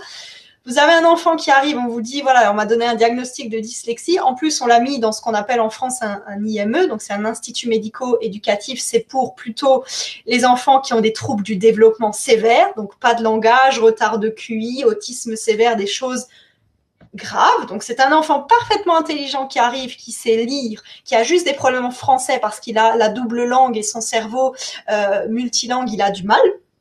Et en plus, on menace encore la mère qui veut sortir de ce système-là parce que forcément son fils régresse dans ce, dans ce genre de système-là. Il n'est pas du tout adapté. Euh, et on a réussi, voilà, heureusement qu'elle a eu l'ouverture d'esprit de, de, venir chercher d'autres professionnels. Et, et c'est une maman très énervée que j'ai eu en cabinet, ça se comprend. Et je l'ai encore entendu, c'était quand? Bah, mardi, pareil, enfant, France, euh, on propose rien, euh, voilà des parents toujours très énervés qui disent mais vous êtes les spécialistes du cerveau et on ne nous parle pas de vous. Eux nous disent mieux qu'ils savent tout mieux que nous. On m'a sorti que mon fils, je suis désolée, ça va être très euh, vulgaire, mais c'est les mots textuellement qui ont été prononcés par des professionnels de santé. Votre fils est débile, il n'arrivera jamais rien dans la vie et il aura toujours besoin d'un accompagnement. Et il est où maintenant? Il est dans une école normale. Une école normale. Il lit mais alors, je peux vous dire qu'il lit comme il n'a jamais lu et il est content d'avoir des devoirs et de se faire des copains. Et heureusement que la mère avait assez de, force d'esprit pour se battre contre ça et ne pas se laisser intimider par quand même des assistantes sociales qui menaçaient de reprendre l'enfant. Et c'est vrai que moi, j'entends au moins deux, trois fois par semaine ce genre de discours quand les nouveaux patients arrivent et moi, ça m'énerve. Mmh. Ça m'énerve parce que comment on peut casser comme ça un enfant, des capacités, une famille, alors qu'à côté de ça, il y a des gens qui ont des enfants qui ont de réels problèmes et qui auraient besoin de ces places dans ces institutions, hein, des autistes sévères, des retards de langage, de développement, des QI euh, plus faibles, voilà, des gens qui ont, qui ont besoin de ces professionnels de santé-là, et ben eux, on leur dit qu'on n'a pas de place pour eux. Voilà. Euh, il y a. Je reviens aux questions, Mélanie. On s'en Niveau formation. Très, très émotif, je, je vois. Alors, ah ouais, ça m'énerve. Et niveau formation chez vous, je ne comprends pas très bien la, question. Je, pense que c'est pour savoir quel type de formation neurofeedback on a fait, François. Oula. Toi, tu as fait tout. Euh, moi, moi, c'est simple. J'ai été formé parmi les meilleurs de la planète. Euh, j'étais en Angleterre, en, en Allemagne, en j'ai été chez les Russes, j'ai été, voilà, j'ai été formé les meilleurs du monde. Bah, tous ceux qui ont développé le neurofeedback, en fait, tous les grands noms qui ont sorti des livres, qui ont développé les techniques, c'est avec eux que tu as travaillé, que tu as fait les formations. Et à ton tour, tu nous as formés, euh, moi et Nadia, selon cette école-là. Quoi. Mais, mais c'est une méthodologie propre. C'est la façon comment nous, on entraîne. Je pense qu'on est vraiment les seuls à, le faire comme ça. Oui, j'ai jamais entendu quelqu'un qui faisait euh, pareil que nous. En tout cas, pour l'instant, peut-être que ça change. Enfin, je l'espère pour les patients, en fait. oui, oui. Voilà. Mais par contre, euh, voilà, on a commencé, nous, à propager entre autres, par exemple, euh, euh, on est intervenu à l'université de Strasbourg chez les, chez les neuropsychologues. Euh, on a profité que Nadia et Mélanie venaient de cette université pour au moins que maintenant, depuis deux ans, les futurs neuropsychologues, ils auront au moins eu deux fois deux heures de cours sur ces technologies pour montrer que ça existe. Voilà. Ouais. Et j'aurais bien aimé avoir mon master à ce moment-là. Parce que nous, on en a eu euh, quelques brefs mots, brefs mots, mais j'avais pas compris en quoi ça consistait. Donc, euh, j'aurais bien aimé retourner à la fac euh, rien que pour voir vos cours. voilà, je pense qu'on a on fait. a encore une question sur l'offre webinaire. Combien de temps? C'est juste un mois, ou juste 31 mai, je crois. 31 mai, Nadia avait mis, il me semble. Oui, 31 mai, voilà. L'idée, c'est de, de, voilà, c'est pourquoi attendre si vous dormez mal hein, Si vous voulez savoir qu'est-ce que c'est, à quoi, ça sert d'attendre moi, moi, je peux témoigner. Euh, moi, j'avais pas d'insomnie. Euh, par contre, comme j'étais un profil plutôt anxieux, vous voyez la surexcitation cérébrale dont je vous ai parlé, typiquement, c'était mon cerveau. Euh, et moi, j'avais beaucoup de rumination, beaucoup d'angoisse, d'insécurité, d'inquiétude, ce genre de choses. Et j'ai fait, bien évidemment, du coup aussi forcément du neurofeedback pour moi, hein, parce qu'on s'y forme, on apprend tout ça, et ben on veut aussi en, avoir les bénéfices. Et je suis passée, alors moi, bon, moi je suis très sensible, donc c'est allé très très vite les effets. Euh, pour vous donner une idée, je m'endormais vers 23 heures au plus tôt, minuit, une heure, et au moment où je me couchais, il me fallait à peu près une heure et demie pour m'endormir. Et encore, je tombais de sommeil parce que, euh, en fait, je, ruminais. J'avais tellement de pensées que du coup, j'étais euh, sur un livre ou en train de faire un truc ou le téléphone jusqu'à épuisement pour que mon cerveau lâche et finisse par s'endormir. Une heure et demie pour vous endormir, c'est très long, c'est très chiant. Euh, vous avez le temps de penser à plein de trucs stressants. et après le neurofeedback, je dois dire que maintenant, allez, au pire des cas, 20 minutes, je m'endors. Voilà, je, suis fatiguée, puis j'ai la routine, c'est-à-dire à 22h, 22h30, je suis au lit, je dors et je me réveille euh, fraîche le matin. Et euh, je vais tout de suite le sentir si j'ai eu une nuit où mon sommeil était moins bon. Souvent, c'est soit parce que euh, j'ai moins bien mangé, si j'ai mangé des crasses la journée. Enfin, ça va être des petites choses comme ça où on devient plus sensible, du coup. Et on fait plus attention aussi à son hygiène de vie. Donc, c'est un réel apport, voilà, par rapport à ça. Voilà, voilà. On arrive à la fin. Mail. Euh, si jamais vous avez encore des questions, on peut prendre rendez-vous pour des consultations par téléphone gratuit. Oui, ça on n'a pas dit d'ailleurs. Oui, sur euh, notre site web. Je, vais chercher le lien, François. Voilà, vous pouvez accéder. Donc, soit vous, si vous êtes convaincu, vous dites je prends tout ça dans rendez-vous, vous prenez rendez-vous, vous payez par carte et c'est tout roule très bien. Ou euh, si vous avez encore des questions spécifiques, etc., vous n'êtes pas sûr, il y a aussi le moyen de demander ce qu'on appelle, nous, des téléconsultations gratuites. C'est-à-dire, on convient d'une heure où on vous appelle sur votre téléphone euh, et on vous répond à vos questions personnel que, que, vous avez. Voilà. Voilà, ouais. Pour ceux qui sont déjà sûrs, qui veulent y aller, euh, vous pouvez tout faire sur le site. S'il va vous demander un paiement, c'est normal. Tout se fait par le site. En fait, il faut valider le paiement. Euh, parce que si vous le validez pas, en fait, ça valide pas votre rendez-vous. Donc, c'est un, un, truc sécurisé. Hein. Vous n'avez pas besoin de vous, vous inquiéter par rapport à ça. C'est fait spécifiquement pour tout ce qui est service de, de santé, de, de bien-être. Je vais vous mettre là le lien pour ceux qui sont pas sûrs ou qui ont encore des questions ou si vous en avez. En fait, on le trouve de partout. Vous, tapez Neurofeedback Luxembourg dans Google, vous allez trouver le moyen de réserver. Sur Facebook, vous avez le moyen de réserver. Euh, nous sommes présents dans les réseaux sociaux. Vous pouvez aussi nous contacter individuellement, pas de souci. Par contre, pour téléphoner, on n'est pas joignable. Vous ne pouvez pas appeler. On ne répond pas au téléphone parce que quand on est avec les clients, ah oui. et on a pas mal de choses faire encore. Oui, on est assez busy-busy, on est une petite équipe, il y a beaucoup de travail, surtout avec la crise du Covid. Hein, je vous le cache pas que de plus en plus jeunes, on a des enfants de plus en plus mal, de plus en plus dépressifs. Et ceux qui allaient bien commencent à aller mal, ceux qui allaient pas bien, c'est catastrophique. Donc, le téléphone, laissez tomber. Vaut mieux nous envoyer un mail ou alors directement prendre rendez-vous pour la téléconsultation. On arrivera bien mieux à vous répondre parce que ouais, de 8 h du matin jusqu'à 19 h le soir, on est en, rendez-vous. Donc, euh, c'est pas la peine. quoi. Ben, merci à vous d'avoir assisté, si nombreux. Euh, voilà. Euh, euh, Marie-Christine, eh bien, ça va dépendre. Il y a des semaines où on va avoir assez de flexibilité parce qu'il y a peu de gens qui ont pris des rendez-vous ou qui ont supprimé, qui ont annulé. Euh, et puis, des fois, il peut y avoir une semaine, une semaine et demie d'attente. Mais ça va. C'est pas plusieurs mois, quoi. ça dépend des horaires. Tout le monde veut venir le soir. Oui. Euh, alors que, les, par exemple, le rendez-vous le matin, c'est plus facile. Voilà. Oui, on a beaucoup plus de dispo. On a aussi les heures entre midi et deux qui sont ouvertes. Donc voilà, on est assez flexible. Euh, donc normalement, vous devriez trouver votre, votre bonheur euh, au niveau des heures. voilà. On dit en 10 jours. Normalement, on arrive à, prendre un premier rendez-vous en, en 10 jours. Oui. Donc voilà, bah, c'est bien, on a été quand même nombreux, il y a eu des questions super intéressantes. Nous, on a adoré faire ce, ce webinaire-là parce que c'est tellement large, en fait, le sommeil, c'est pas que le sommeil, on pourrait on pourrait en parler des heures. Je vous garantis qu'on a choisi de parler de certaines choses et d'autres non, mais nous, on pourrait parler des heures de ce qu'on fait, c'est sans fin. et le neurofeedback aussi, c'est sans fin, ça s'applique à tellement de choses. Nous, on a, on a ciblé ça, mais voilà. Voilà. Ok. Merci beaucoup. Eh bien, on vous souhaite une bonne soirée et puis euh, bon courage.